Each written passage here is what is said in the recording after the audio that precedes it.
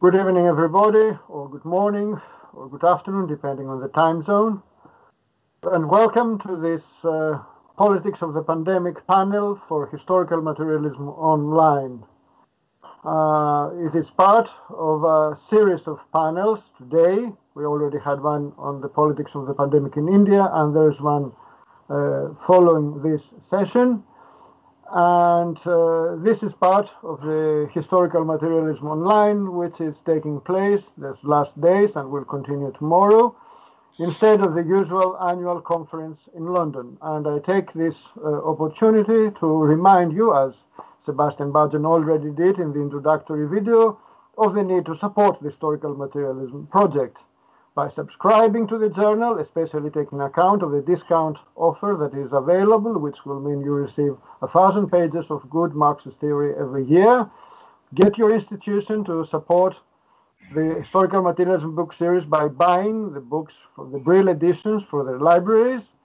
And also do check out the really affordable titles of uh, the books in the Haymarket version of Historical Materialism book series all books appear one year later, uh, much more affordable, and there is a 50% discount until the end of the conference. And uh, by the way, we also thank Haymarket because it is offering invaluable tech support uh, for this uh, it, for these online events. And we have today a panel uh, with uh, Rob Wallace.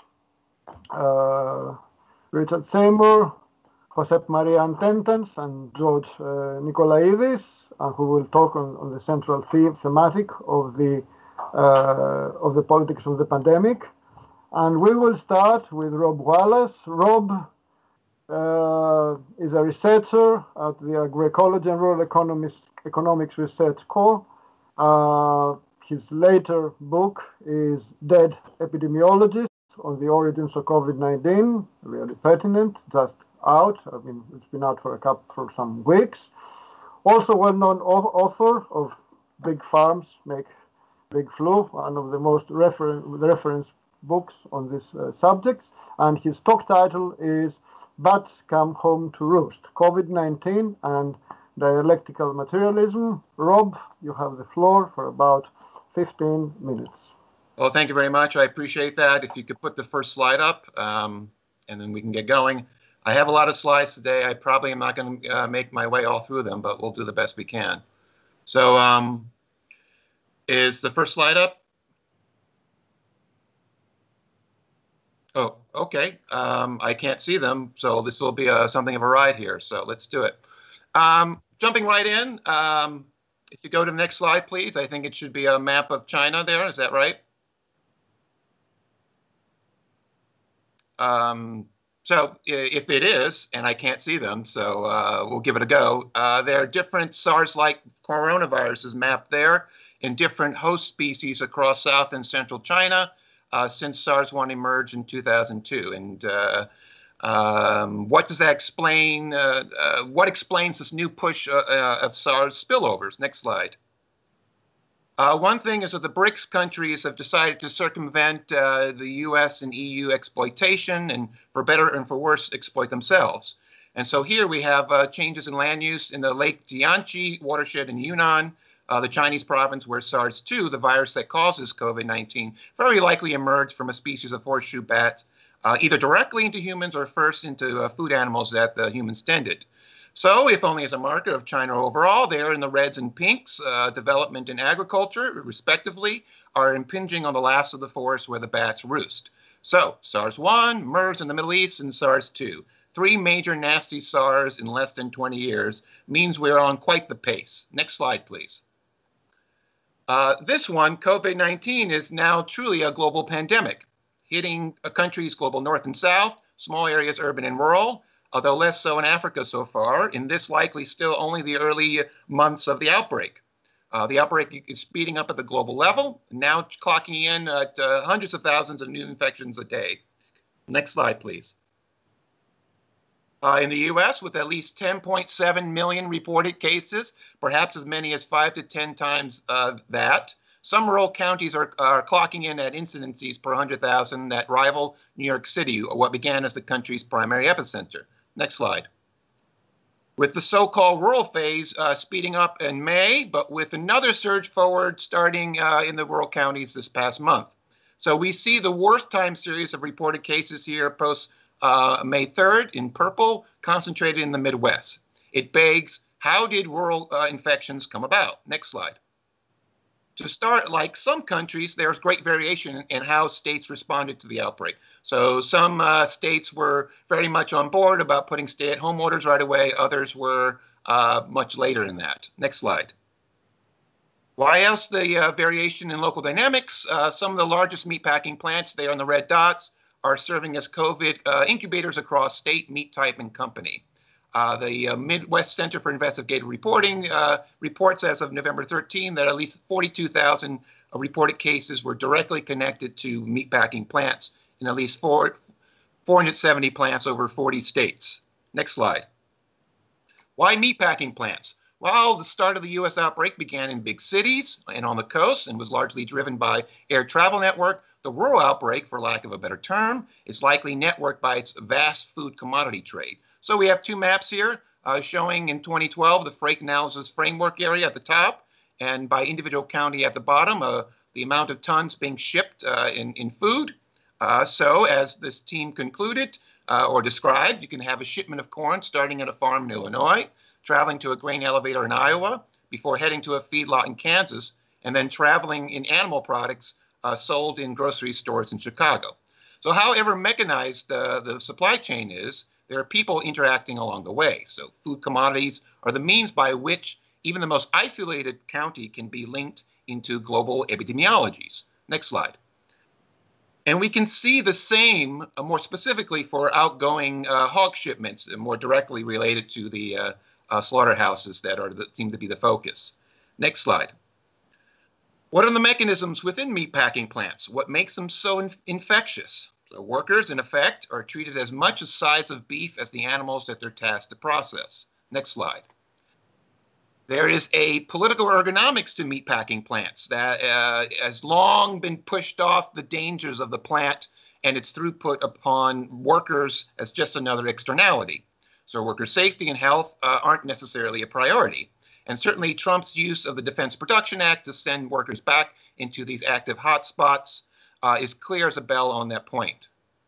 Um, so, as is the CDC and, and OSHA's um, entirely voluntary COVID uh, guidelines, but isn't just the um, isn't just the the White House fault. Uh, I'm not sure what you're showing here, but uh, um, okay, very good um, as is the okay, but it isn't entirely the White House fault. County health officials uh, protecting companies have been documented to refuse to share with plant workers how many coworkers have become sick under the rationale of protecting privacy. Next slide. Uh, I mean, you should think about it. Uh, companies are clear that plants uh, plans are in motion to automate these plants. So it's something of an eco, eco modernist wet dream. Um, but they're clear about it in, in, the course of doing so that they're going to uh, increase uh, the price of meat when we automate the plants.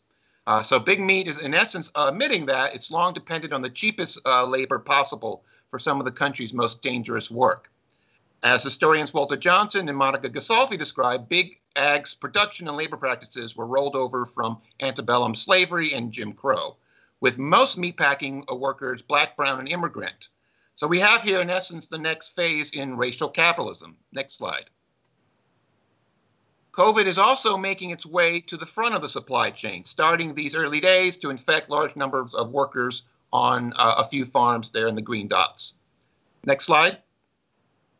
Ag isn't the only source. Uh, with the collapse of the town economy, many rural uh, communities depend on state and private prisons as a source of income. Here we have a map of U.S. prison populations and their weekly traffic inbound. We have large prison populations in cities, but clearly some rural counties rival their urban counterparts. And prisons were linked to six of the top 25 rural county COVID outbreaks as of the midsummer. So you have close living quarters, kind of another trade in flesh, sickening uh, inmates transferred from county lines, prison to prison, as well as prison guards like meat packers uh, from prison to community and back. Next slide. Comorbidities. Uh, other health dangers can make COVID uh, infections worse. So, particulate matter in the air is, is proven to be one of them. And I'm going to skip this slide. Uh, we'll just leave it at that. Um, next slide, please. We see most, uh, so what, where are patients to go? Uh, you can have a failure to uh, access emergency and critical care is also proving a COVID comorbidity. So we see many rural counties with hospitals uh, without ICU beds there in the orange or in gray with no hospitals at all. Next slide. And we can see all these factors interacting in real time. So in Louisa County in Iowa, which is south of Cedar Rapids, we have a COVID outbreak began in a Tyson plant, killing two employees before spreading out to the rest of the county. Uh, so it made Louisa at that time uh, having the great some 100 uh, infection per population uh, that was rivaling New York State. Uh, and Louisa County doesn't even have a hospital or even a doctor that lives within its borders. Uh, and state officials lied to the as to the number of employees that were infected. So uh, very much uh, there's a class character to the biopolitical state at even uh, such a scale as small as this. Next slide. So the uh, agribusiness system isn't just about uh, tons produced and the impact on land and climate. The system, uh, we can summarize, is in, embodied by a network of social lock-ins that positively reinforce each other. So we have feed the world narratives, compartmentalized thinking, export economics, etc. And uh, value accrues to a limited number of actors that are re reinforcing their economic and political power, and thus their ability to influence the governance of food systems. Uh, so how do we get out? Uh, how do we get out of this? Uh, can ag be a way out of the uh, COVID and, and many other crises? Next slide. Uh, one way proposed by the International Panel of Experts on Sustainable Food Systems, uh, they recommend here a series of interventions that unlock these vicious cycles out of industrial agriculture's favor. So, for instance, one, develop new indicators for sustainable food systems. Two, shift public support toward diversified agroecological production systems, and on and on, intervening in each of uh, part of this vicious cycle. Next slide. So we have peasant revolts, uh, global north and south are pushing back against agribusiness, and uh, and on the left here, uh, they're eco-modernist allies. Uh, so starting at whatever farm stage, all these efforts, no tillage, cover crops, uh, all the way up through civil silvopasture and uh, forest farming, they they uh, uh, put together uh, up on the sustainability curve here. They're all aiming. Next slide. Uh, to introduce new virtuous cycles at the level of regional food production, building new relationships, mainstreaming agroecology. Next slide. Uh, as measured by an entirely different set of criteria. So instead of net calorie production or yield per hectare, uh, we can measure uh, nutrient content per hectare and nutrient availability for local communities and livestock resilience and social and health equity. Next slide. As uh, regenerative agriculture isn't just about healthy soils and carbon sequestration. So food is very much a social system. Presently, 98% of the land in the U.S. is owned by uh, white people, almost entirely a holdover of settler ag and the Homestead Act. And along a different axis, 97% of the poultry producers are contracted out by big meat. And so we have here instead uh, practitioners at Soul Fire Farm in New York State, and they embody a regenerative ag uh, that can, su- can, succeed only if it's linked to farmer autonomy, community socioeconomic resilience, circular economies, land trusts, integrated cooperative supply networks, food justice, reparations, and reversing deeply historical race, class, and gender trauma. So healing this metabolic rift between ecology and economy, driving the damage at the heart of modern agriculture, including uh, uh, COVID, involves imprinting a different political philosophy upon the landscape. So we can move out from underneath the suburbanist export capital, turning rural uh, counties into sacrifice zones and into regional food landscapes integrated urban to rural and tended by local communities. Next slide, please. Uh, so yeah, such systems can indeed be scaled up and scaled out. Yes, successful localism requires state intervention. As political uh, ecologist Jahi Chappell has written, Belo Horizonte, a city of 2.5 million in Brazil, showed that when outlying farmers have both a market and a pl- price guaranteed in town uh, by the municipality, cutting out usurious middlemen, the farmers are more likely to engage in agroecological and organic practices back on the farm. They also are more likely to protect primary and secondary forests and plant a variety of crops conducive to the kinds of biodiversity that buffer wildlife species acting as reservoirs for our most virulent pathogens. So, in short, a truly regenerative agriculture integrates healthy cycles of land and people together. Next slide. So, uh, how about here in the US? Is it possible here? Uh, our Midwest Healthy Ag Project is in the midst of mapping a regenerative index by Midwest County based on this equation. Uh, in the numerator, we have variables that mark regenerative practices. In the denominator, markers are of conventional production. And so the greater the resulting number, the more regenerative the county by this version of the index. Next slide. Some uh, areas appear bending more in the regenerative direction than others by virtue of the combinations of uh, regional local biogeologies, as well as um, deep political histories and ongoing political economies, all of which we are only beginning to unpack. And this is only a, a relative measure. Uh, even in greener pastures mapped here, there's much room for new agriculture. Next slide. And it's beginning to happen in, in uh, just about real time. So uh, Reynaldo Haslett Marroquin of the Regenerative Agriculture Alliance just reported that his consortium just bought a regional abattoir to help spring regenerative poultry producers from one of the last holds large agribusiness has on their production the access to processing. And so during the COVID crisis, smallholders uh, were being placed on waiting lists of nearly a year at the largest uh, corporate processors.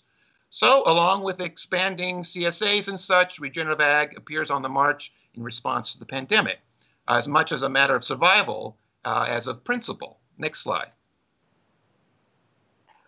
Well, what if uh, ag has already been protective, uh, at least as measured at the, at the county level? So, given the COVID 19 cases per population, what combination of variables mapped there at the bottom might explain their distribution? So, geographer Luke Bergmann and disease ecologist Luis Fernando Chaves are spearheading our modeling efforts on this front. Next slide. So we started with, started with a, a pot of variables. Uh, some of you will recognize uh, some of these from our index, but there's also uh, population by race, employment by sector, numbers of nurses and physicians, ecoregion, uh, Republican vote share, poverty, etc. Next slide.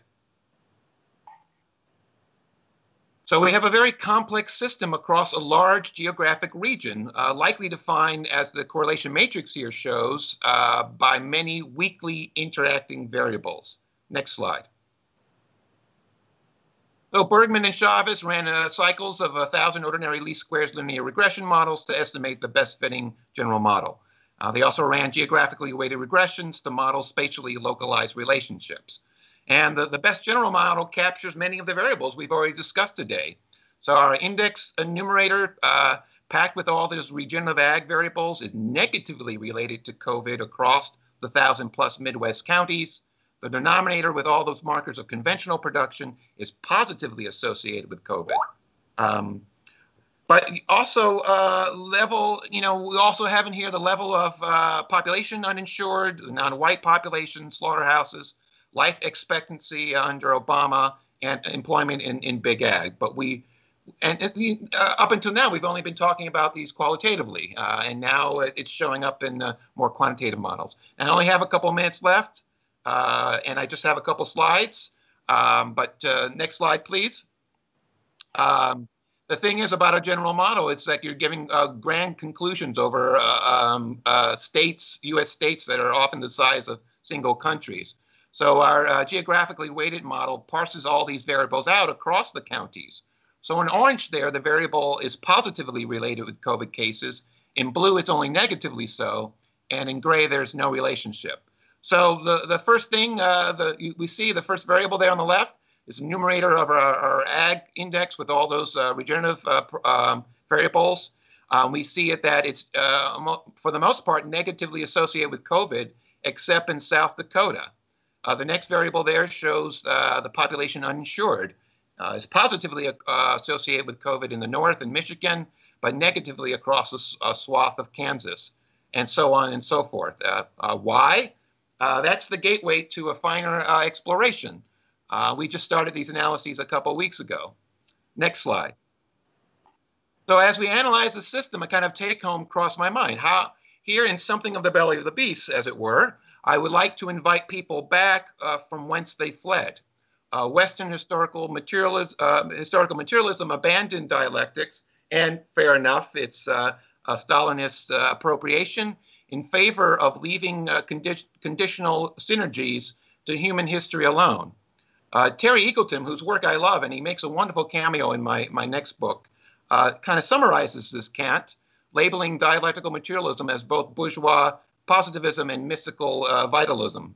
Um, but in practical terms, for us scientists, the, the, dialectical is routinely embodied by the kinds of complex parameter spaces the Midwest COVID system we just explored exemplifies, in which variables, as, as seen here for gene by environment norms of reaction, can be parallel in effect in one part of the space and suddenly in opposition to each other in another, with all sorts of second order manifestations. So the very space describing these relationships can itself be subjected to these punctuated shifts.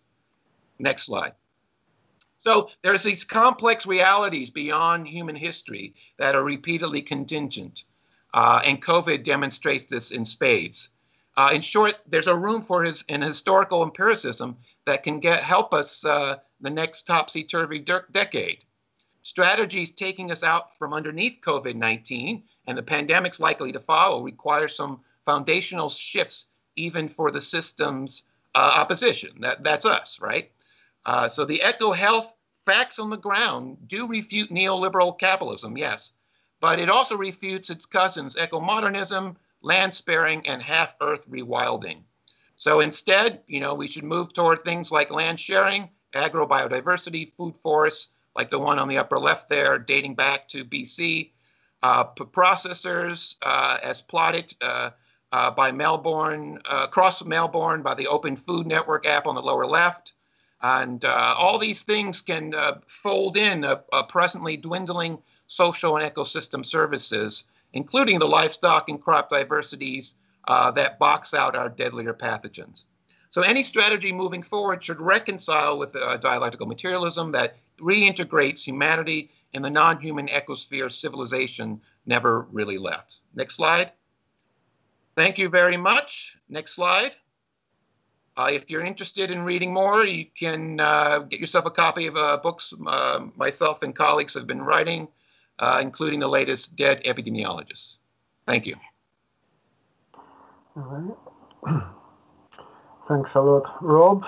And now I give the floor to Richard. Richard Seymour uh, is a member of the editorial collective of Salvage Magazine. Uh, his latest publication is The Twittering Machine, which appeared in 2019. And the title of his presentation will be Particle Politics Against the Nation State. Richard, you have the floor. Thanks very much. So I'm going to start with some very elementary uh, scene setting stuff. Um, uh, we, um, in terms of particle politics, we are obviously surrounded by, covered by, infected by, and in living symbiosis with trillions upon trillions of particles of data. But uh, viruses are um, just exactly that. They're not life, they're not cells, they're bits of chemical data, or as um, Sir Peter. Uh, Peter Medawar put it in his philosophical dictionary of biology, a piece of bad news wrapped up in protein this is what Lynn Margulis is talking about when she talks about the microcosmos. Uh, in, a symbios- in a symbiotic planet, she writes, we are in mute, incontrovertible partnership with these microbes. We are a symbiotically evolving, globally interconnected, technologically enhanced, microbially based system. So it turns out that when we talk about particle politics, and when we talk about particles per se, we are talking about life um, we're talking about, uh, in other words, biopolitics. And what I want to do here is briefly look at the ways in which biopolitics, even capitalist biopolitics, in contrast to uh, the communist appropriation that Panagiotis Sotiris has been talking about, uh, is in tension with pandemic nationalism. Now, um, I'm going to make some pretty uh, basic statements here um, just to uh, give me some background from which to work. Our microbial repertoire includes obviously many particles that jump to humans as we hunted and then domesticated animals, meaning that we have adapted to those microbes and they to us a long time ago. Yet, of course, the number of non adapted harmful particles is vastly greater than our existing repertoire. There are 5,000 species of mammal to one species of human, meaning the animal reservoir, consisting of animals sufficiently like us to host particles that could infect us, is huge. Any constellation of human forces which aids that zoonotic leap can be called virulent. And in the biosecurity idiom of uh, some virologists and epidemiologists, um, as far as I can see, um, some of the most influential. Uh, these forces are generally described in themselves as politically uncontroversial facts. You know, global trade, high speed transit. Occasionally, there's a worry about the excesses of consumerism or agribusiness. Um, David Quammen's very good book, uh, Spillover, despite some great insight into the role of farming and world trade in the making of pandemic, ultimately identifies the problem as humanity. I'll just give you a quick quote here. Ecological disturbance causes diseases to emerge. Shake a tree and things fall out. Human caused ecological pressures and disruptions are bringing animal pathogens ever more into contact with human populations, while human technology and behavior are spreading those pathogens ever more widely and quickly. And if the problem, therefore, is humanity, and its relationship to particles, then biosecurity need not involve any abbreviation of capitalist freedoms, particularly um, the freedom of capital to essentially operate as a global conveyance mechanism for particles um, that could be deadly to humans. What it amounts to instead is uh, to tracking pathogens on the frontiers while also surveilling and managing popular behavior, generally construed as irrational herd behavior. The Biosecuritarian Register of Disease Specialists draws overtly on counterterrorism rhetoric. Uh, Nathan Wolfe um, talks about tracking viral chatter, much as counterinsurgency would track terrorist chatter. They treat it as an intelligence problem to be resolved by better surveillance, big data, and geographic information systems. Now, that's clearly the direction in which most capitalist states intend to go. Hitherto, um, what exiguous biosecurity infrastructure existed has usually been linked to the Pentagon's DARPA agency rather than something like, I don't know, the World Health Organization or the United Nations or something. Most states will now have to invest in some sort of system like this, particularly if they are in, involved in uh, extensive agriculture. Uh, for example, the British government pandemic management um, has been guided from the outset by a combination of behavioral psychology and big data. Its joint biosecurity centre, to be led by the government's pick to head MI5, is modelled on the Joint Terrorism Analysis Centre. The goal is defined, as Foucault once said of biopolitics, a bandwidth of the acceptable. In other words, it's not just about uh, suppressing disease, indeed, it's not about that at all, but it's about regulating the movement of both particles and humans in such a way as to minimize the damage. Um, and you know, this is quite an authoritarian top down approach, which ultimately amounts to managing people while encasing the imperatives of capital and markets in a protective securitarian sheath. So, where does pandemic nationalism fit into this? After all, uh, today's most aggressively nationalistic forces tend to be aroused by the prospect of annihilation. They've been thriving for years on imaginary crises and disasters, white genocide, FEMA concentration camps, death, uh, death lists, the Great Replacement, Chinese climate hoax, Satanist pedophiles, according to the latest one, Islamization, or, of course, famously, the Jews who will not replace us. You could call this disaster nationalism. Well, problem is here's a real crisis, and it's one that clearly if you think about it, indicated certain policies that one would expect authoritarian nationalists to potentially find quite useful, such as uh, the shutting down of borders, capital controls, limitations on air travel, and so on. The nationalist terms of art today are, after all, protection, security, and control. And yet, though there has been plague nationalism aplenty, it's been largely rhetor- rhetorical um, uh, or passive.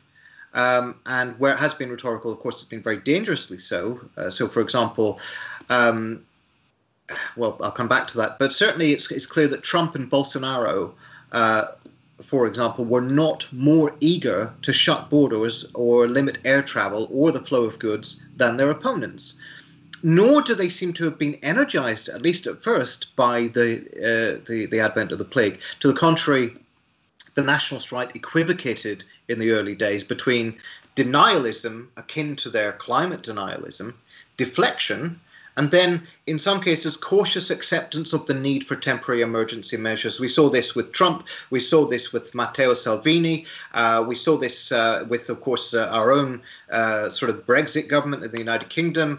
Um, uh, not so with Bolsonaro. He's an interesting case. Um, we saw this with Duterte, um, uh, who sort of prevaricated as well. Um, Narendra Modi, too, was uh, a latecomer, but when he got round to locking down, he locked down pretty uh, uh, energetically.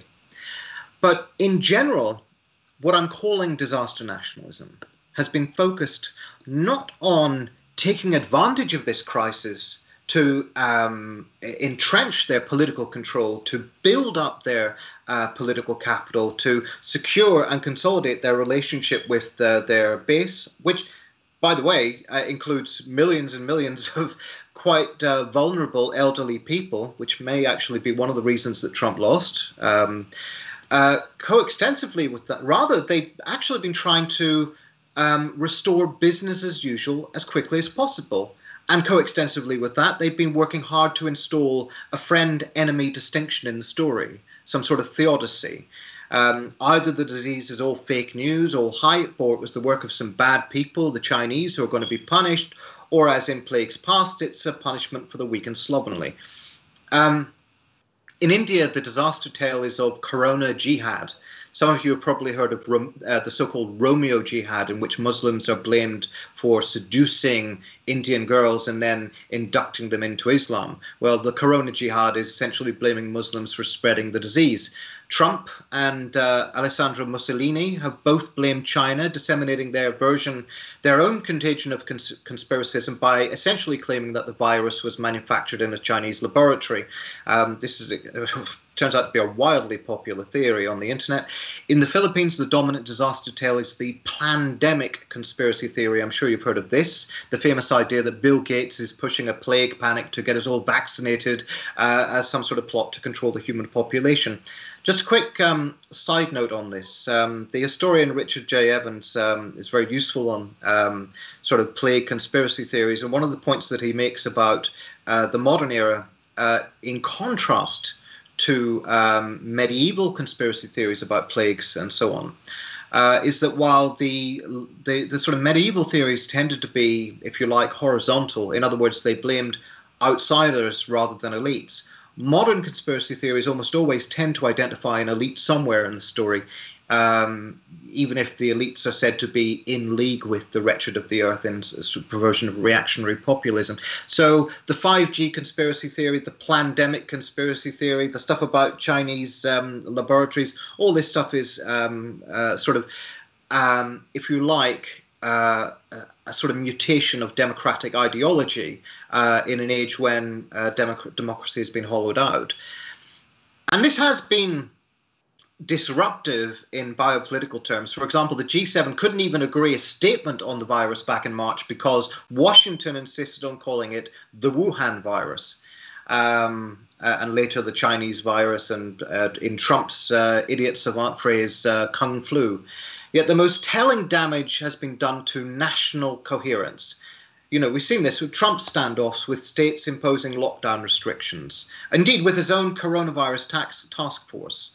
Uh, we've seen this with Johnson uh, uh sort of engaging in uh, struggles with uh, various parts of the United Kingdom. We've seen it with Bolsonaro standoffs with local governors over the use of Chinese made vaccines. In this respect, they've not been so very different from governments of a more centre left persuasion, for example. Take uh, the Maltese Labour government, whose initial response to the coronavirus was actually rather efficient um, and uh, kept the um, number of deaths down to among the lowest in Europe, and yet who immediately after that reopened so aggressively and to such disastrous effect in defiance of their medical profession and their own scientific advice. So this is not um, something that merely you know the nationalist forces are doing.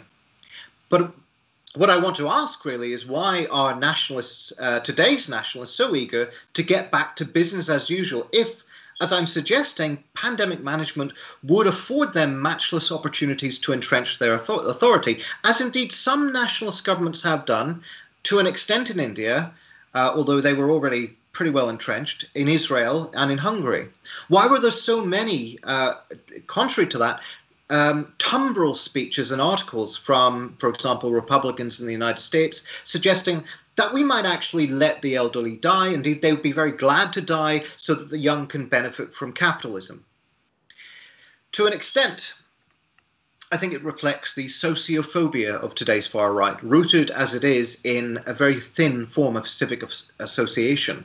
Um, brackets here, uh, we have to say that India is quite a different uh, case altogether, and that the role of um, the Hindutva movement in India's society uh, looks quite different to the sort of networked far right that we see in the United States, uh, in Brazil, in the United Kingdom, in parts of Europe.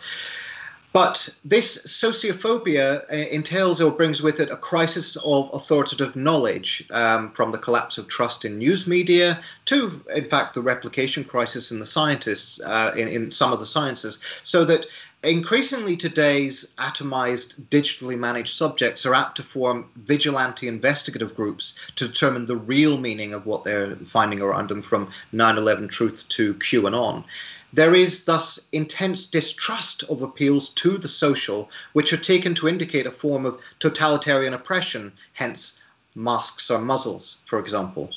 Um, in part, one could also argue that uh, with Foucault, that uh, biopolitics is an intrinsically ex- inclusionary form of domination. For it to be effective, it must somehow mitigate the virulence of poverty and of violent abstractions like race. Governments, for example, have been obliged to release prisoners and to release some detained migrants to avoid the worst. They've also been compelled to introduce forms of wage subsidy and job support that go quite counter to the let it rip ethos of much of today's far right. Even the hawkish uh, British Chancellor Rishi Sunak, um, who um, you know essentially caused the second wave of the coronavirus in this country by uh, sort of encouraging people to gather in crowded pubs and restaurants, has uh, been forced to go along with some of these measures. I say mitigate. Very important to, to say that there's no absolutely no effort whatsoever to undermine these um, uh, these forms of slow violence. Nonetheless, this fact alone has provoked a, a, kind of panicked anti communism on the part of the disaster nationalists. Particularly telling in this respect is uh, Bolsonaro's justification for opposing social distancing measures. When he was interviewed, he, say, he said, I'm sorry, some people will die. They will die. That's life. You don't stop a car factory just because of traffic deaths. Sorry, not sorry. This acknowledgement that business as usual involves the state in legislating for a certain bandwidth of acceptable death and harm arising from capitalist production is obviously quite helpful because it allows us to see that the social Darwinist passions of disaster nationalism and their ideological sociophobia, which I would say are coterminous with their catastrophilia, are extractions from, distillations of, the dominant capitalist culture. And that is among the reasons why the behavior of capitalist states not led by nationalists hasn't always been that much better. There's also a sort of dialectic between nationalist leaders and their active base. It's notable, for example, that Trump really uh, was uh, all over the place until the point at which armed militias began to organize anti lockdown protests, since which there's been a dialectic of uh, radicalization on both sides.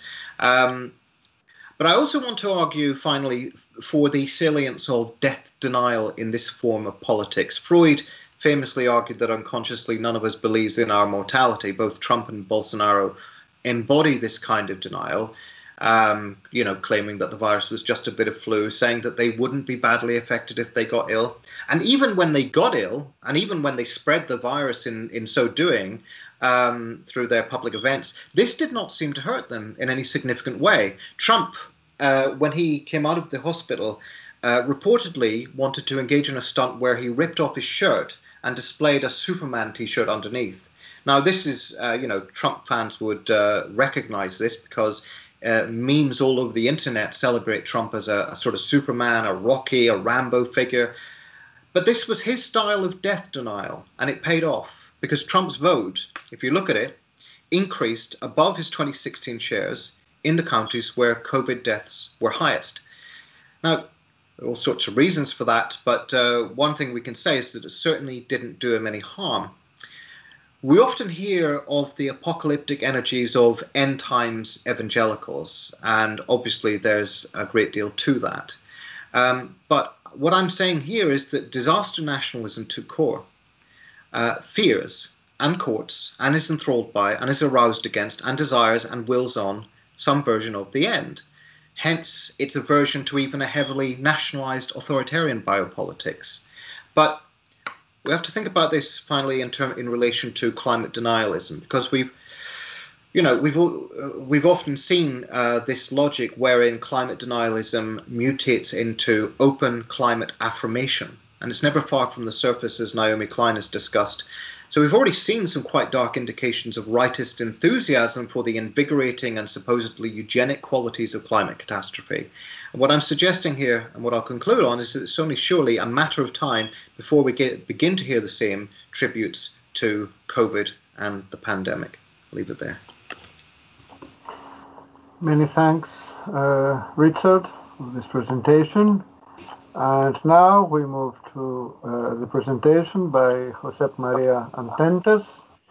His affiliation is the Center of Sociological Studies on Ordinary Life uh, and, uh, and Work at, at, the, at, the, Institute of uh, Work Studies at the Department of Sociology of the Autonomous University of Barcelona. Uh, he has written a really interesting text in dialectical anthropology, notes on corona crisis and temporality, temporality, sorry. And his, as far as I remember, his latest book is uh, de Octubre, uh, a really good, uh, perhaps the best book so far written that attempts a Marxist reading of the Catalan crisis. Uh, Josep, you have the floor.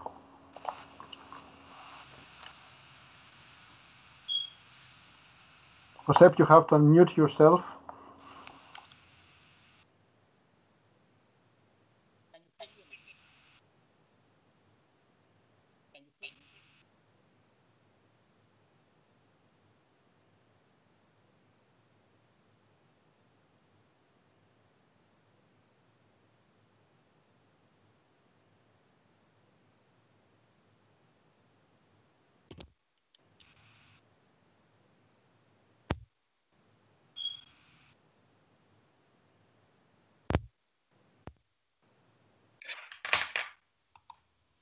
is fine? Yes, so, you're fine now. Yep. My idea was to talk a little bit on political strategy and the current coronavirus crisis. Mine is not really a systematic presentation, but I would like to highlight some questions that I think that they are relevant. I think probably the first is to think a little bit on the concept of crisis itself, which is sometimes a concept that we take for granted. But if we go back, for, for example, to classic studies on, on on the concept of crisis by Koselleck, for example, I think it's interesting in the sense that if we go back to the original meaning of the term, that comes to classic uh, uh, Greek, um, crisis comes from the, the word krino, which used to mean kind of separate, choose, judge, decide, and so on. So uh, concepts that more or less suggested the absence of time and a moment of truth and decision. And in this whole range of meanings that the word used to have, it was the medical Hippocratic meaning, the one that prevailed, and referred to the to the moment where an illness can go worse or an illness can go for a better uh, improvement. So the very original idea of crisis was crisis as a turning point with different possible possible outcomes. I think this is a strategically more fertile meaning than the current conventional meaning that we have today when thinking about crisis, which is simply a moment where things go bad. I think this idea of crisis as turning point has m- more uh, interesting political readings. Well, a second issue that I think is interesting to, to think about is also, which is the link between crisis and normality. in the sense that crisis cannot merely be considered a kind of opposite pathological state to the normal, as in fact, they, crises are consequences of the pathological condition of normality itself. And well, there is the classic idea of Walter Benjamin in, in his uh, Arcades project when he says the concept of progress must be grounded in the idea of catastrophe, or the things that are status quo are the catastrophe that sometime, uh, somehow are useful to, to, to understand this pathological uh, condition of normality and this particular link between crisis and normality. So, from this point of view, and when it comes to political strategy, I think that we have to understand crises as also moments of strategic redefinition in which there are crises of previous strategy because you need to readapt to a changing terrain. And also, you need to build a strategy of crisis, that is, to settle a strategy for an exceptional moment.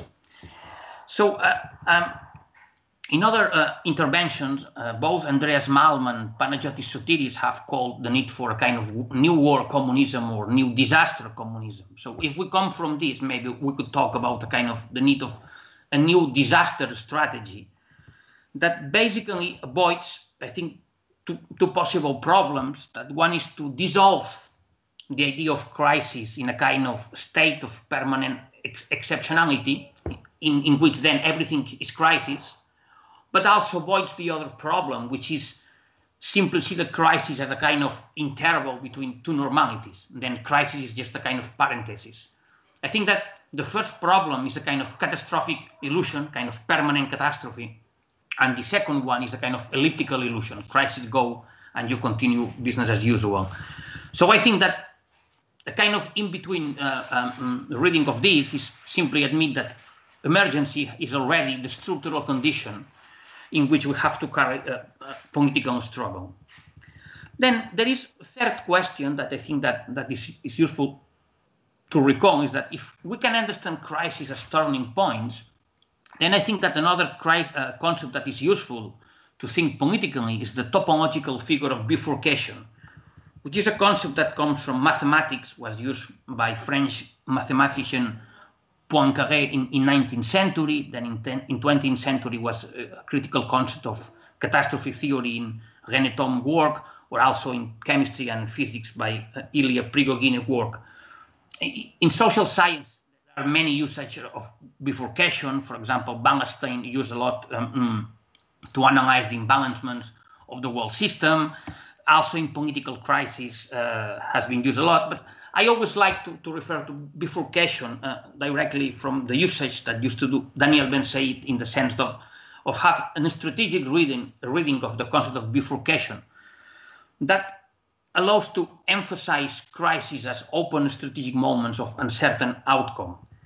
And if we understand bifurcation uh, like this, then crisis is basically a moment of truth, which is uh, a moment of truth, which is basically the, the original meaning that you can find also in authors like Thucydides in his History of the Peloponnesian War, where he used the term crisis to refer to the key battles of the war and also to describe the plague that shook Athens in that time. I think that this idea of bifurcation as possible outcomes is, is interesting to understand crisis, always remembering, as Gramsci said, that uh, in a crisis, despite everything, the ruling class always plays in advantage and has more trained cadres to reorganize and to keep uh, managing uh, the system. Well, there is a fourth aspect that I would like to talk about, which is, you know, the, the particular experience of temporality and lifetime experience that crisis may create, and in particular the coronavirus crisis. Because I think that what we are seeing is a kind of concatenation of several crises that overlap in a very chaotic way. We have health crisis, economic crisis, social crisis, social reproduction crisis, environmentalist crisis. It's a kind of chaotic overlapping that, that shows the imbalances of global capitalism. But in the same time that there is this chaotic overlapping of crises with different temporalities, a crisis itself is a moment of temporal unification. It's a kind of moment of um, temporal simplification. And in fact, lockdown itself has been a, moment of very strong simplification of social temporality, but in a background of a very discordant and chaotic temporalities. And I think that we have experienced a kind of simplification of our uh, uh, everyday temporality, but that overlaps in a kind of decoupled and, and, and unstructured temporality that reveals the contradictions of global capitalism. Um, the French historian uh, Francois Hartog um, defines the temporality of global capitalism as presentism. So, a kind of regime of historicity in which there is a kind of permanent extension of the present and no future and no past. Well, I think that coronavirus crisis somehow modifies, uh, at least temporarily, the nature of this presentism in the sense that our endless present has been invaded both by the past and by the future, has been invaded by the past because the lockdown and pandemics evoke situations that we associate with the great pandemics of the past. And also our present has been invaded by the future in which that the former unexistent future now appears suddenly as a kind of abyss or catastrophe to come. In the same time, I think that the lockdown has had a very particular uh, temporal specificity in the sense that, on the one hand, it was a kind of halt of social relations, but in the other hand, it was a kind of acceleration of other social process. And it created a very uh, um, subjective temporal experience of a slowdown of uh, your everyday temporal experience, but also in a background of uncertainty and also it created a kind of contradictory space and time fusion of all the dimension of our life. And the fact that the home was on the one hand a home on the other a place transformed for productive work and also transformed of a new child school and so on i think was a good way to highlight the irrationalities of our social temporal organization and how these irrationalities of our social temporal organization are very much crossed by class gender and race uh, inequalities well, there is a fifth element that I would like to highlight, which is that, well, crises, as we know, are moments also of simplification of social relations, a kind of moment of clarification of reality. When big crises come, uh, come somehow reality is clearer to see. Well, there is very well-known Marx uh, uh, sentence in, in, in The Capital where, where he says that if there was no difference between essence and appearance, there would be no need for science well, during crisis, it seems that appearance and essence are provisionally more unified. And in 2008 financial crisis, I think it was clear that it was the financial system and, and, and, the banking system, the one that emerged as more visible and people could begin to understand how finance system works. I think now there, there's been a lot of new light on the role of social reproduction, care, and also the role of manual workers. And I think that this creates some particular strategic uh, uh, um, questions. One, I think that it highlights when it comes about the role of manual workers, in particular in sectors like transport, distribution, and so on, the strategic relevance of logistics as a terrain for trade union action. There is a whole story of debate on this, but I think clearly the idea that logistics is a very important terrain of struggle and to identify the choke points of all logistic chains for trade union activity. Uh, it's one of the most important strategic challenge um, for today. The other question is, is, and I think that this re reevaluation of healthcare systems and uh, is very positive, and also new debates that have emerged, like the debates on basic income and so on. All this is very interesting, but I think there are still some challenges to improve and to push more to the left. This kind of new current, uh, new pandemic common sense that is emerging. The first, I think, is, is to try to go beyond the anti-financial uh, common sense of 2008, to try to develop a, a more strong critique of capitalist rationality, and to try to put on the table the need for democratic economic planning and the strengthening of public control of the economy. And the second challenge, I think, is to try to put on the floor an issue that is totally absent of the current debate, and this is because of the historical defeat of labor movement for sure, which is the need not just to improve healthcare systems, not not just to improve and to keep um, public services or introduce new things like basic income and so on, but in particular the need of a massive paid labor time reduction, which I think is the cornerstone to any kind of changing society model. There is no full, full employment with massive reduction of paid labor time. There is no equal sharing between men and women of care work without paid labor time reduction. And there is no time to participate, politically speaking, with, without reducing paid labor time. I think it's one of the absence of the new pandemic common, uh, common sense is the, this total unexistent debate on, on, on the need uh, to reduce working uh, uh time, uh, paid working time. And more in general, I think that if it's about making links between several debates that we have on the floor uh, uh, today, I think that there is the need also to try to link the question of democratic biopolitics that was raised uh, by Panagiotis Sotiris in the beginning of the crisis, to link this with the world feminist debate on social reproduction and care, and also to link both issues with the debate on agrobusiness and food systems, which are debates that somehow are uh, slightly uh, separated and belong to uh, to realm of different academic or theoretical specialities. So I think it's important to try to to mix all these debates that not always go together. Well, there is a sixth aspect that I, I would like to comment, which is that, okay, on the one hand, the lockdown was clearly kind of halt of, of social uh, dynamics. But on the other hand, as we know, it created a new acceleration of some previous trends underway. So I think that the virus itself was a kind of accelerated of tendencies. It, was, it was a kind of, of trends. It was a kind of wormhole where stages are skipped and in which the leap forwards that are made also modify the final result. And there's been a huge debate, of course, on the massive acceleration of the digitalization process of our society. And I think that it's a question that we should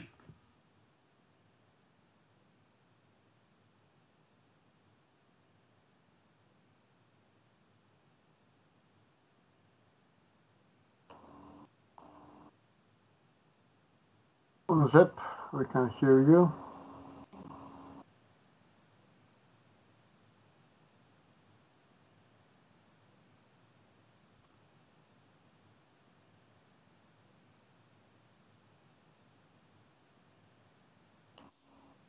Yeah, I mean, we have a small technical problem. Uh, we hope that uh, Josep uh, will uh, come back in. These things happen with uh, on Skype sometimes. Um, okay, just a reminder to people watching us on the live stream, please, uh, if you want any questions, please post them, post them, sorry, on the YouTube channel. We will relay them to the author. And uh, while waiting for Josep to come back in, because now we are not seeing him. Um, yep. Okay, that was a reminder. Also, uh, I have posted some links because some persons asked in the YouTube uh, channel. I posted links to Rob Wallace's book, to uh, Josep's article in Dialectical Anthropology, and Richard's articles in Salvage, so that different people can look up on them. Okay. Uh, okay, I suggest we uh, we do this since I don't see uh, uh, I think we go to uh, George, who's online, and when uh, Josep returns, we will make sure that he has some extra time. We have time for, for the Q&A section. So, George, for about 10, 11 minutes, you have the floor to comment on uh, what has been discussed uh, so far. George Nikolaidis is a psychiatrist, he, uh, but also with a research background in epidemiology. He is the scientific director of the Department of Mental Health and Social Welfare, Institute of Child Health, associated with the Greek Ministry of Health. And he is the former chairperson of Council of Europe's Lanzarote Committee for the Protection of Children from Sexual Exploitation and Sexual Abuse. Thank you. Uh, thank you. I'm glad to be here, discuss all these uh, very important issues raised by uh, previous uh, speakers. Um, uh, just to put a historical context in the beginning of this uh, brief intervention, um, Daniel Defoe, the writer of Robinson, who was born seven years after the Great Plague in London, wrote also the Journal of the Great Plague, a famous book, who was depicting what happened in London by the time of the Great Plague. One interesting remark in that book was that by order of the Lord Mayor of London at that time, 200,000 cats and 60,000 dogs were slaughtered because they were considered as host carriers of the plague. Now, afterwards, nowadays, we know that the host of the plague is the rat. And by slaughtering all these stray dogs and cats, what the authorities of London actually did was accelerating the multiplication of the plague.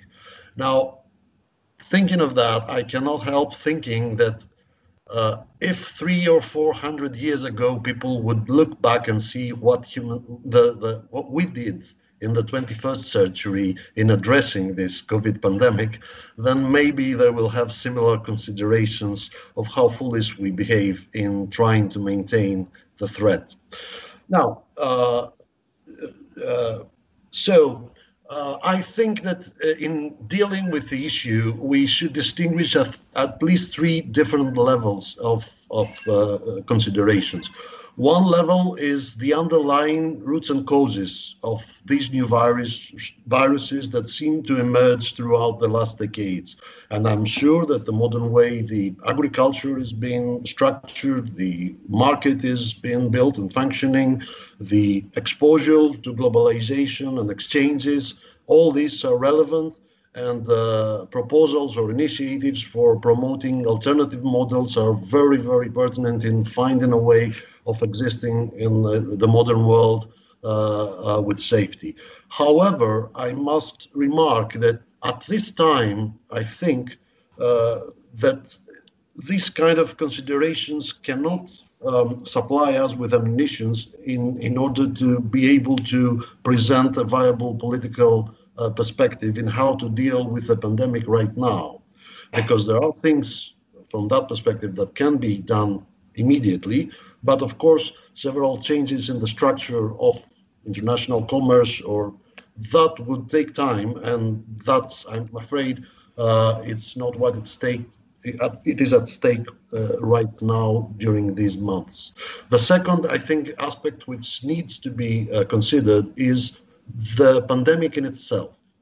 We know now we are not in February or March. We know that we are dealing with a pandemic with um, a, case mortality rate that ranges for 0.15 to, let's say, the CDC latest quite inflamed uh, sort of uh, estimate, estimates, which are uh, 0.7 or 8 percent. Uh, we know that we are uh, now in the middle of the 11th month of 2020.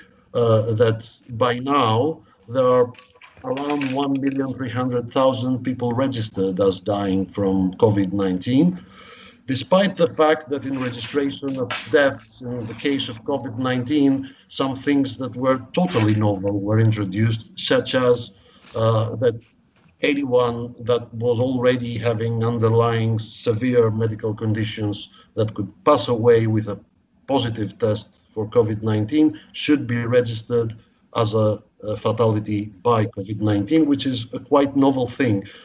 Consider that if we have used the same principle, nobody would have died from HIV.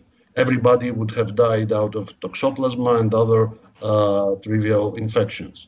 So that's uh, uh, 1,300,000 lives uh, have lost. Still, they probably would be less than the amount of fatalities we have globally in 2020 from tuberculosis, a disease in, for which an effective vaccination is available since decades. So that is just to put in the context that it is, of course, a severe case of a pandemic, but it's not something as in a science fiction film or novel. It's not definitely going to be the uh, disease, the pandemic of the of the century, because probably we're going to face more and more and probably more severe such pandemics in the 21st century. Now, there is a third level which I think requires more consideration, especially in the context in the context of the historical materialism uh, uh, event uh, today. and that is policy responses to the pandemic.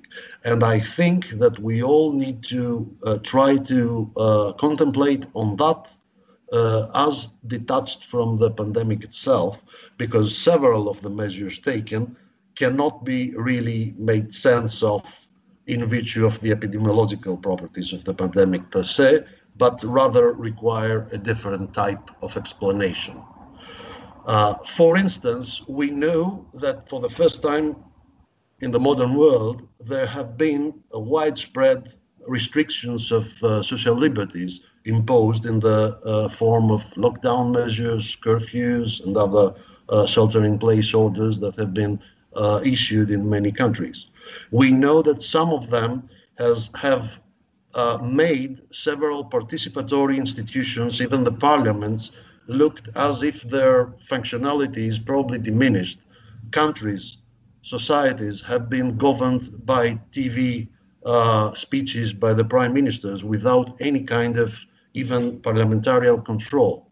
That is not to be underestimated as a minor issue in the whole uh, uh, uh era of the pandemic. We know that in some countries, software that was recommended by governments was downloaded by almost half of the population in a few hours. Software that could allow governments to exercise control in the movement of millions of people. In a sense, what happened in the pandemic in the policy level was that China exported her biopower model to Europe and the rest of the developed world, and the developed world bought it very easily. I think these developments are not that uh, insignificant. We already know that in fatalities from COVID 19, despite any kind of dispute about the number of deaths and the registration and all that, we know that there's a disproportional rate of fatalities for the lower socioeconomic classes. We know that from studies coming from UK, the US, and other parts of the world. We know that people who are poor and deprived and have already marginalized rights suffer more from the probability of dying out of this disease, especially in the US. We know that before the pandemic, there was a good proportion of the society that was uninsured or quasi insured in a way. That created millions of people with underlying medical conditions that were not appropriately treated already when the pandemic emerged. So naturally, these people were uh, at very much uh, at risk of dying or having a severe disease from COVID 19. But we also know that the measures themselves are disproportionately burdening the poor and the disadvantaged, the lower socioeconomic classes, those who are exploited ones. We know that it's very different to pass a shelter in place uh, quarantine time if you are Governor Cuomo or if you are a poor worker having to travel by mass transportation and go to work every day and live in a basement in a poor deprived area. You have totally different perception of what the quarantine is and what restrictions place is placing in your life. We also know that the coming, the forthcoming crisis and regression that was caused mainly by the measures that several governments have um, taken to respond to the pandemic are going to hit harder the lower socioeconomic classes. And we know that these measures did not only made social and economic harm to these lower exploited uh, parts of the societies, but we also know that they have placed an additional health burden on these uh, classes because we already have studies and uh, compelling evidence that in most of the developed world, but also the developing world uh, countries, there would be losses of life by millions in virtue of the measures and not the pandemic. In the developing world, we know that the most deprived children will suffer from starvation and some of them will die just because schools and educations closed and they are depending on schools for the school meals in order to survive. UNICEF has released a report which is quite uh, shedding light on this very uh, interesting issue on that. We also know that in the developed world, several of the major killers of the societies, which affect disproportionately, again, the lower socioeconomic classes like coronary disease or strokes or cancer have been cancelled because all the health systems have been reoriented towards addressing COVID-19 pandemic. We also know that the economic regression will also have an additional health burden and will put excess mortality, especially to the lower parts of the societies in terms of socioeconomic status, exactly by the same major killers cardiovascular diseases, cancer, metabolic syndrome, and also mental health conditions. Now, this is not again something which should be left outside uh, the discussion for the policy response on behalf of the working class and the people uh, of this current uh, pandemic. Um, it's also um, uh, okay, I'm, I'm just one minute and I, I, I conclude. It's also, I think, a good time to contemplate about uh, the role of certain, certain scientific associations or organizations at national and international level. We know that this WHO has made a very significant change in the neutrality of politics, especially since the, since the HIV era which was accelerated by the neoliberal governance of uh, Dr. Chan as a general director, and now is continued by the current uh, director general. The same equally applies for national uh, centers, which I think we should develop critique uh, about how willing they are to serve the, indus- the industry's interests and also the plans of government. Um, I have uh, signed the, myself the Great Barrington Declaration, which calls uh, societies and, uh, and countries to return to normality and uplift the lockdown uh, measures, uh, and also translate it to Greek. Um, I'm not, of course, agreeing with everything uh, everyone says in, in that initiative, but I think that this is a very crucial point, which found the left in the developed world uh, not uh, appropriately prepared to deal with that, such issue. Uh, the neoliberal right has invested in politics of fear throughout the last 30 years. I remember George W. Bush renaming, renaming relabeling hunger in a FAO uh, summit as a food security issue. Everything is a threat and security is to be prepared and given by the state to the societies in order to prevent them from potential threats. To that, the left has been rather unprepared, and to some extent, it has been a follower of what we call in European politics the extreme center, like President Macron or Spanish socialists, or sometimes was even more than the right uh, proposing uh, lockdown restrictions, which we know that they will make the lowest parts of the society suffer uh, even more. I think there are many other initiatives that now come to realize that this is unreal. Any other solution for now is unrealistic, is ineffective, and it it is going to increase social inequality and take the class struggle uh, uh, backwards instead of forwards.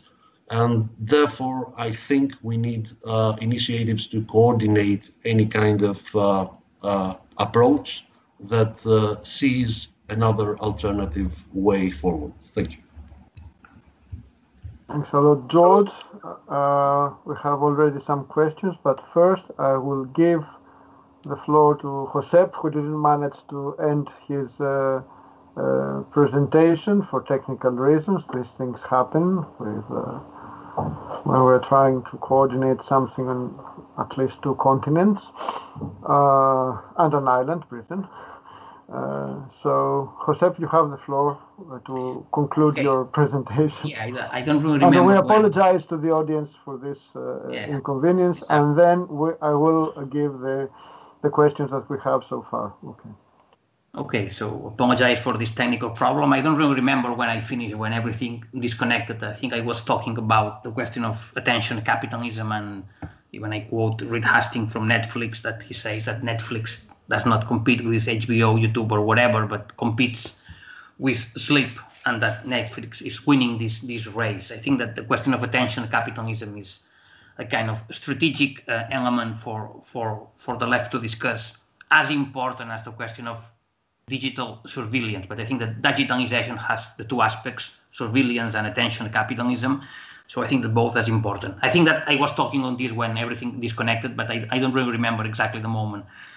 Then there is an eighth question that I think that it's important to talk when it comes about political strategic challenges of today, which is I think that the lockdown uh, shown very specific urban problems and a kind of a specific urban bias of, of our societies. In particular, it showed this kind of illusory idea that we live outside of the natural world.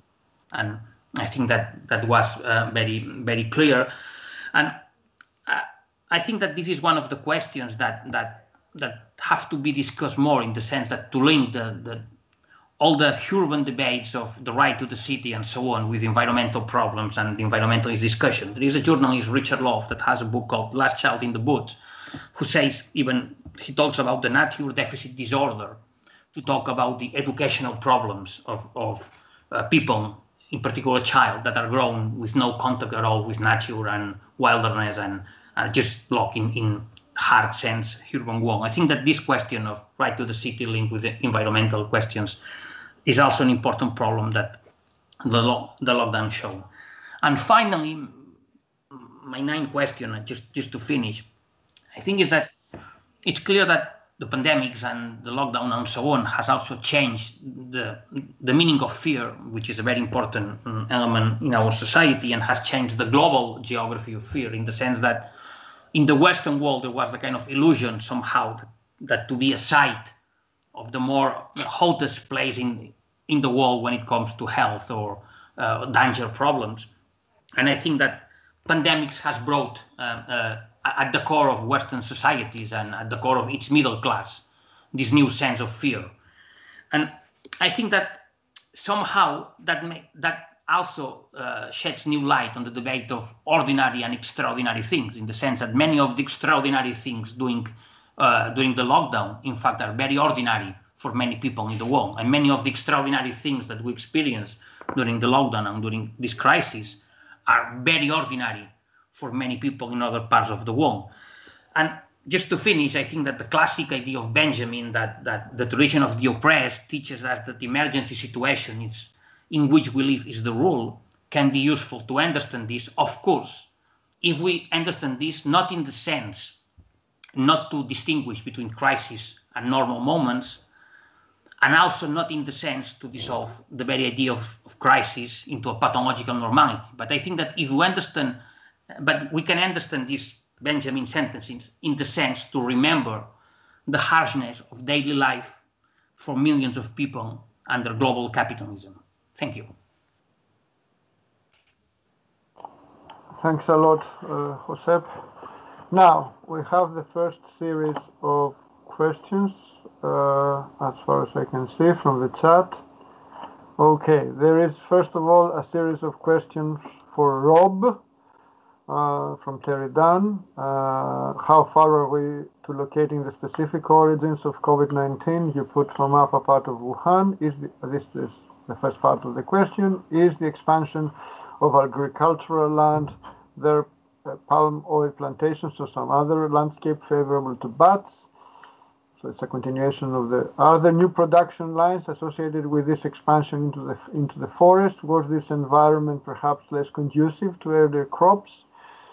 Uh, and on the agroecology interventions, what is the political background to the Belo Horizonte initiatives? In Europe, a lot of organic production is just a sort of a luxury niche. So this is the question for Rob. Uh, basically. And then we have a question for the entire panel, which if someone, if could someone explain why are Africa's coronavirus successes being overlooked? This is a question from Irina uh, uh, Irina Castro. So I would suggest, okay, Rob, you have sure to answer, yeah. and then whoever wants to answer the Africa question, or also both you, uh, Rob, and, and whoever else. And uh, yes, and I have a question now uh, for Richard. I will post it afterwards, and then we will go on. Okay, Rob, you have the floor. Yeah, sure. Um, you know, it's fascinating. We're 11 months out from the, uh, uh, at least the, uh, when the world realized we were in the middle or the beginning of a pandemic. And uh, um, is what's fascinating about it is that we have both uh, arrived at uh, a sense of conclusive understanding that of the origins that of some sort of spillover event and uh, at the same time uh, have little understanding of any of the details of it, but we're comfortable with not knowing that um, because we're in the middle of an emergency, and it was brought up this contrast between structural and emergency. That the uh, but the problem with just focusing on emergency is that uh, it undercuts the exploration of the structural causes. I mean, it's it's used as a way of uh, sucking the air out of the room so that we don't talk about uh, those structural aspects. The other thing, of course, is that the structural is foundationally integrated with the emergency. You can't succeed engaging in uh, emergency uh, measures if you haven't also uh, addressed the structural in real time. They're not on different, necessarily on different uh, temporal planes. Um, so, on the one hand, we have some sense of being comfortable with the notion of not knowing uh, this. We have a an emergent um, understanding among establishment scientists that there was a spillover event, and uh, and it's often presented as in contrast to the hokey uh, lab origins that Richard uh, brought up. Um, but on the other hand, uh, they're not all hokey. That's the problem. Uh, the fact of the matter, I mean, clearly the notion of uh, military games in the U.S. and Wuhan and all that is all crap. Clearly, the, the, Trump administration attempt to blame China on this in the sense of uh, spillover from a lab as an attempt to wash his hands of responsibility for failing to protect his own country. Um, but they are, um, it's not a done deal. I mean, there are circulating uh, hypotheses concerning um, um possible spillover events out of uh, in, among cave miners in Yunnan, uh, samples of which were taken to, back to Wuhan. And uh, it's Princeton University study 2013 that um, plots out the number of new BSL 3 and 4 labs that were uh, built since 9 11 and H5N1, the first celebrity virus um, of the century. And they number in the thousands, uh, expanding out into uh, greater uh, into Asia and including the Wuhan lab. Uh, so the possibility of a very rare event like a lab accident uh, bends towards inevitability the more uh, opportunities you give to, to doing that. So, what I'm getting at here is I'm very much a proponent of the field hypothesis. I do think cutting into the forest, uh, whether for Ebola in Africa or, or uh, the coronaviruses in, the, um, in China, um, driven by um, you know, BRICS or neoliberal versions of uh, development uh, did increase the interface between reservoirs of bats and spilling over. And I think a lot of the uh, the new uh, phylogenetics works indicates that it really doesn't have to do with Wuhan. That uh, in all likelihood, the spillover event occurred perhaps even years earlier, and that um, this one, COVID-19, the SARS-2, was circulating among uh, humans for many years, picking up uh, increasing its uh, contact and or ability to infiltrate the human immune system before it finally um, uh, bursts free in Wuhan. So, to, in other words, um, we're not quite clear about that. And uh, while the beginning year I was so sure, and the more I know, the less I'm quite. Sh- uh, any of us really should be sure of that, and it's going to take considerable more work. Except the establishment scientists have locked it in as a pillar of the um, political economy because um, not knowing the origins opens up the discussion of the structural that they're trying to, to close off. In, uh, and yes, indeed, many uh, scientists, not consciously or not, I don't think there are envelopes that are, are, you know put underneath the table, but there's there's grant money and filtering processes at the level of hiring and um, and such that um, mm, selects for uh, particular um, paradigms and positions that uh, protect um, the, the, present uh, um, constellation of uh, neoliberal and, and uh, uh, states. So um, that's where we are with that. We don't have an answer on that. As far as the expansion of agricultural land, as for palm oil plantations, I think you might be referring to those in Africa. I don't know much palm oil in China, but clearly that um, our group uh, we have a we called it the neoliberal Ebola, um, the one that emerged in uh, West Africa 2013. Um, excuse me, um, yeah, 2013 on, and um, you know um, the Ebola that emerged then genetically was not that dissimilar from those that have emerged since uh, the mid 70s. Um, same clinical course, same epidemiological parameters. So how do you go from knocking down a couple villages to, in essence, uh, infecting 35,000 people, killing 11,000 people, leaving bodies in the, the, streets of regional capitals? And that has more to do uh, with causality not being necessarily in the object of the virus, but out in the field of social relationships. And in this case, our uh, hypothesis is that uh, West Africa had been subjected to structural adjustment programs and uh, infiltration by uh, multinationals. Uh, I mean, that was in Liberia since 1925, uh, but uh, other countries nearby, Guinea and Sierra Leone, had an uptick in that, and local agroforestry was, in essence, replaced. You know, it's a whole land enclosure thing that uh, marked the beginning of uh, modern capitalism in Britain, but uh, now it was taking place in West Africa. So uh, bats that were reservoirs for um, uh, Ebola uh, were suddenly able to uh, more have a great interface uh, with humans on these palm oil plantations. I need to wrap up here, but um, um, we'll just leave it at that for now. Yeah, thanks a lot. I'm sorry for this uh, interruption to wrap up, but we are slightly running out of time. We had the question on what on the situation in Africa. Anyone who wants to comment on that, George? Yes. Uh, if you see the mortality patterns from the various influenza or parainfluenza, it's not one virus; it's a variety of virus. In the previous 20 years in Africa, you would see that there's a uh, uh, somehow equivalent pattern.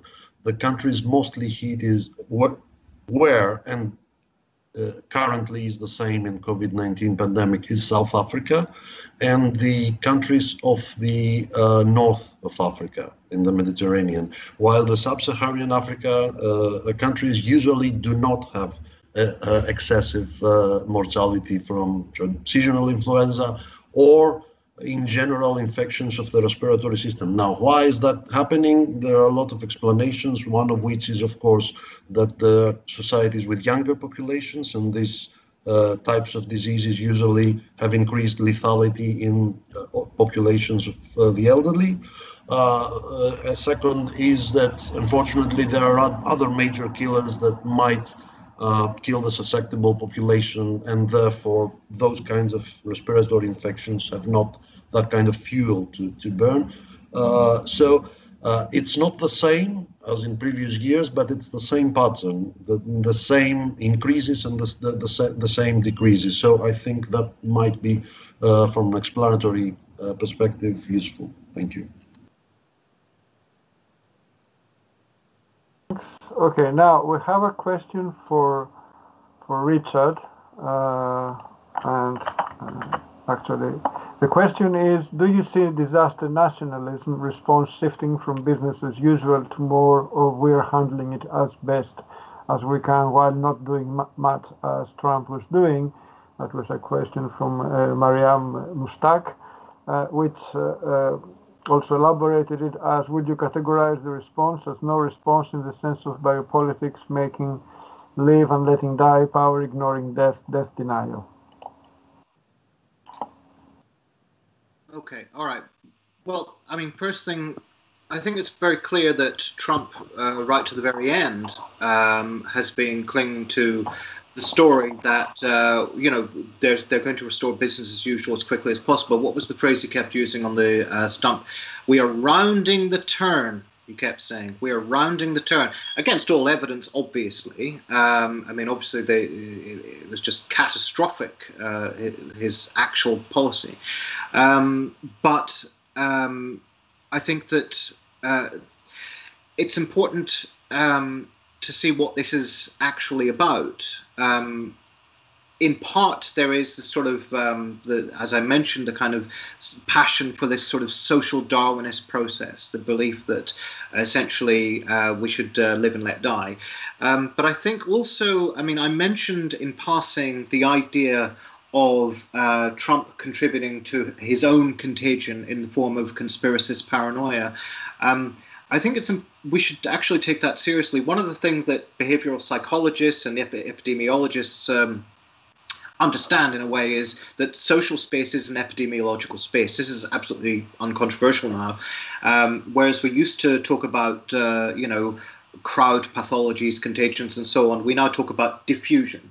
Um, and it seems to me that um, uh, if we take the theory seriously, um, these um, the, the sort of theories that uh, Donald Trump has been propagating um, the various and often contradictory theories, almost uh, broken kettle responses um, to the coronavirus. You know, it, either it's uh, it's not a big deal, or it's liberals over talking it, or it's uh, China, etc., etc., etc. It seems to me that these uh, have to be seen as what you might call what Damon Centola in his work on diffusion would call complex contagions. And that is, they have a fairly high threshold for uptake. Um, and that means that, uh, you know, this isn't just Trump, right? This can't be just Trump push, putting something out there. Like it's not like a, a virus, a simple contagion that spreads uh, with relatively few barriers, particularly through weak ties, for example. This spreads because the social thresholds for the spread of this kind of line has already been reached. And therefore, the problem is not Trump right? Um, the problem is that there is a widespread social desire in society for this kind of response. I say widespread, I don't mean to imply majority, but Trump increased his vote by um, about 9 million votes between 2016 and 2020. So um, I don't think this is just about uh, what Trump was doing. Uh, I just want to um, uh, finish. I, I, I'm going to leave the other part uh, more or less unanswered, but I just want to finish with a, a brief comment on uh, the case in um, Africa. Of course, you know one of the problems is totalizing.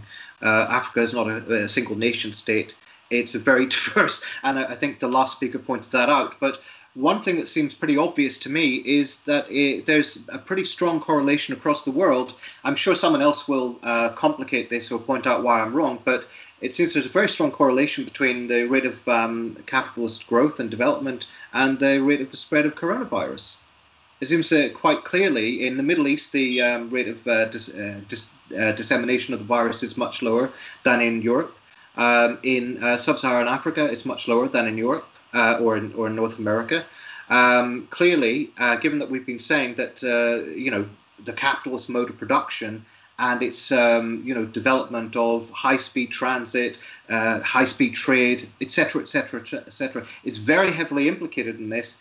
Um, it's quite probable that that's a big part of the answer. Of course, I'm aware that there are other policy successes too in various African countries that we ought to learn from. Thanks a lot, Richard. Well, uh, okay, let's see what other questions we have. We have another one for Richard, but before that, I would like also to pose a question to Josep. Uh, and my question will be based on your presentation and using another notion that you have used in the past uh, on the need for a strategic imagination from the part uh, of, of the left. I mean, what's your take? Have you seen the kind of uh, strategic imagination one would uh, expect from the left in this conjuncture of a crisis, exactly in the complex and, and really fascinating way that you described the, this conjuncture today? So that's the question for Josep. And then, Richard, uh, yes, I will have another question for you from, from the audience. Okay, so about the left today, I don't know. I have a kind of mixed feelings, no? Because on the one hand, there's been a lot of intellectual production and a lot of debates and a lot of uh, things, and uh, even, for example, the fact that most of the left who comes from social science background have few understanding of natural science and so on. Everybody has been forced to begin to think about questions that many social scientists are not very much aware, like environmental issues, epidemiologies, and so on. So I think that there is a kind of fertile cross cross mixing intellectual debate. So I think that they are very interesting things. But also, I don't know. I think that the, the problem is that the global situation is difficult for the left. It's clear that I am talking from a country uh, in Catalonia and in the Spanish state where there is a global paralysis. And for example, it's very difficult even to mobilize. If you compare with the United States that the pandemics happen with Black Lives Matter, it's a very different situation. For example, here there is even very difficult concrete uh, way to do a small demonstration or whatever because of uh, restrictions, fear, and so on. So it's a global paralysis in terms of practical activities in the streets. So maybe depending on the place you, you live, you have a different idea of, of the level of dynamism or, or not dynamism that movements and the left is, is having. In the case of the Spanish state, is a moment of stagnation and you know a, a kind of disorientation and so on. But it seems to me that the, maybe the most interesting thing is that the new the new strength that debates on social reproduction and and how to link uh, you know uh, have better feminist uh, reading of the wall. Also the question of the importance of manual workers, logistics, and so on. So I think that there are new debates that are important that somehow mm, allow to have a better understanding of the wall than than, than we had some um, few months ago. The problem for me is how we can translate this in a more practical collective uh, project. I think that as analysis, as new windows to see the world, I think that everybody's seeing the world with better windows than six months ago, and we have better understanding of underlying problems and and mixing uh, and making more linkages between things that used to be apart and so on. The problem for me is that there is a certain paralysis, at least in many countries, about political initiatives and and, and, and, and how to move forward. That's I think that's that's the biggest problem I find. Okay, so uh, since okay, we have another question for Richard, and I will suggest so that we so, uh, so we keep track on time. Richard, you answer that uh, question, which is for you. I will read it in a minute, in a, in a second, uh, and say, and then the the rest of you, if you want to add something small two minutes, you know, just just a phrase, so that we can wrap up in time and also give us some time to prepare for the next uh, politics of the pandemic panel. Okay, so Richard, the question for you, which is from Philip Mesko, is the, what does your uh, hypothesis of far-right death drive entail for the fight against them? And two, how does it map onto the case of Sweden's pandemic response? This is the question. So, Richard, you have the floor, and then we go to the others for some closing remarks. Okay? Well, I'm going to bracket uh, the uh, specific part about Death Drive just for a minute because that introduces some complexities. But um, certainly, the basic idea that the far right um, is not um, driven by um, the offer of material improvement, um, I think is rather important. Um, there's a pretty, I mean, this is a commonplace about the Third Reich, but uh, Richard Grunberger in his Social History of the Third Reich put this um, very pithily when he said that the uh, psychological um, improvement outpaced any material advantage. and that is the uh, most extraordinary thing about uh, you know, if you look at uh, Trump supporters, if you look at Modi supporters, if you look where uh, this form of nationalism is thriving, um, first of all, it it finds its recruits. Um, I mean, there's some there's some evidence for this. I have to say, I'm speculating to somewhat to an extent here, but uh, there seems to be some evidence that it finds its recruits among the psychologically depressed. Okay, um, and you know there is there are very much higher rates of depression today socially than there have been for a long time, um, and that this form of politics offers some sort of uh, response. Um, in other words, if you're fighting with your demons, well, here's some real demons for you to fight with, um, and uh, it's um, it, it's also quite important to say that it's um, you know the left sometimes misses this meaning is uh, material interest just as much as, um, for example, uh, your your pay packet. And we, you know, often wonder why do people vote against uh, measures that are good not just for their um, you know like their their incomes and so on, but measures actually are very bad for their incomes that actually bode ill for them. And sometimes, of course, as we've seen with uh, the United States and Trump, um, you know that are bad for their health, bad for their future well-being. This is where, of course, the death drive comes in because the death drive obviously has no regard to the organ- organism's well-being. It just spins on and on and on. How does this map onto the case of Sweden's pandemic response? Um, I don't think it really does um, in any straightforward sense. Uh, I think Sweden's response um, was uh, mistaken, um, was based on uh, some quite um, complacent assumptions. Um, it doesn't seem to have done much better uh, either in economically or in terms of managing the coronavirus than its immediate uh, European neighbours um, who, who, are comparable in that respect. Of course, you know there's there's arguments over exactly what that means, but we now see that uh, cases are rising uh, pretty fast in Sweden. Um, but I don't think this was driven so much by coronavirus, uh, sorry, death drive, as it was by a version of the capitalist biopolitics uh, through which um, the British government and various other governments tried to uh, manage this plague. Um, I think that um, if you look at how the British government tried to get out of the plague by uh, instituting a sort of depoliticized regional system of various lock, varying lockdowns, um, aggressive reopening on some fronts, with uh, more controls on population movement and more surveillance, etc., etc.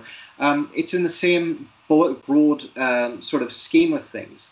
Um, so that should really cause us to question uh, the underlying predicates of this form of capitalist biopolitics because although clearly um, there, there isn't a, a, sort of ready, ready to hand sort of communist alternative that we can just implement, uh, we nonetheless uh, are direly in need of that critical perspective. I'll leave it there.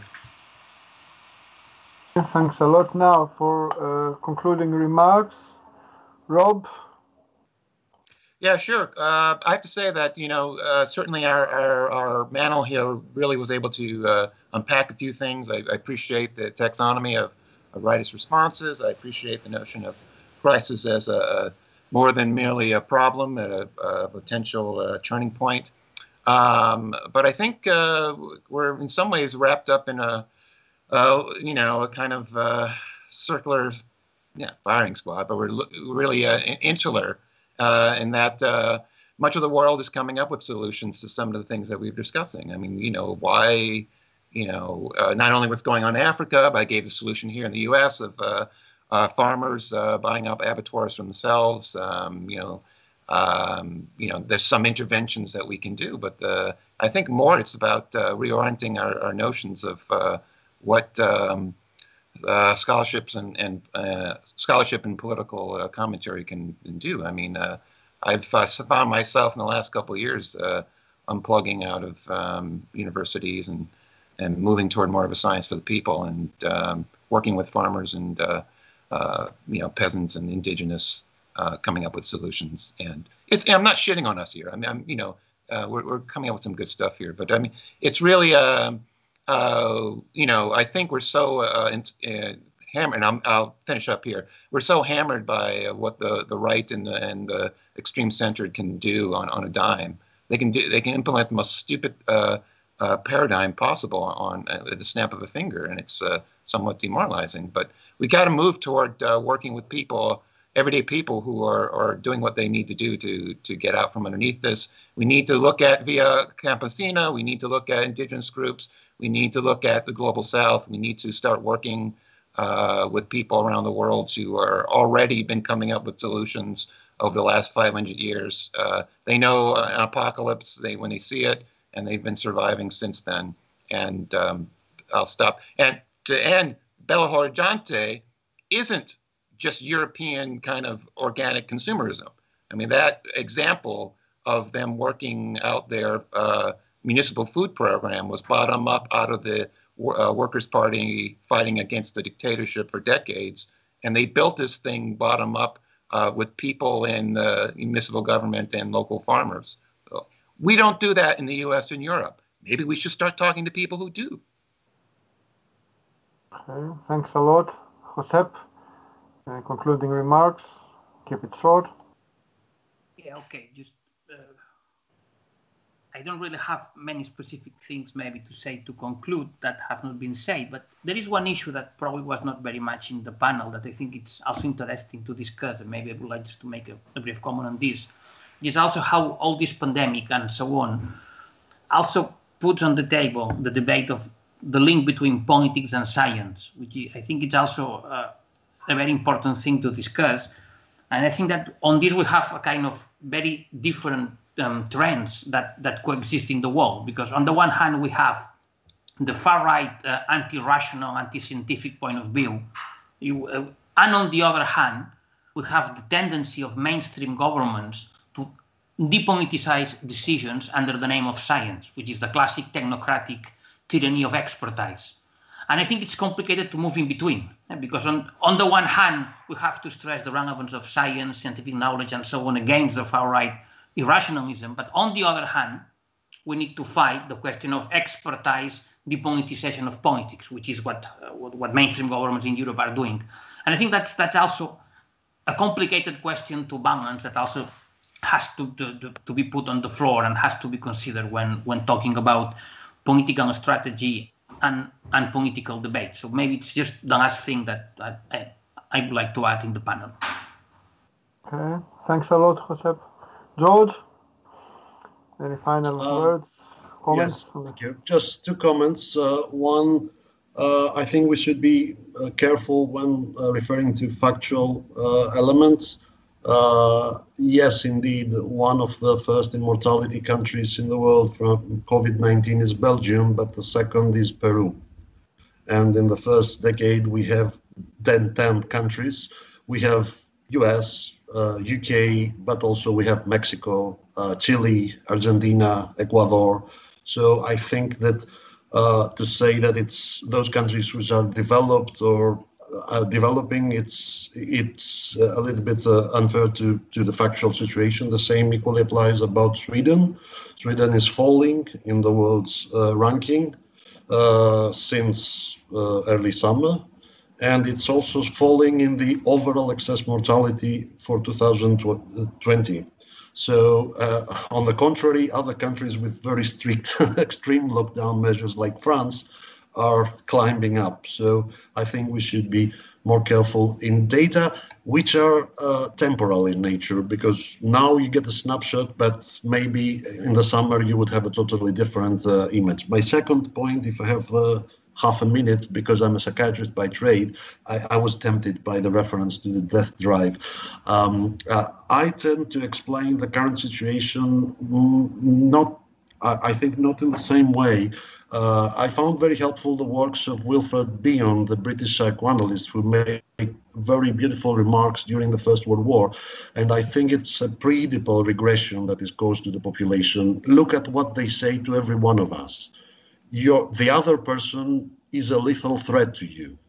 You also are a lethal instrument to other people.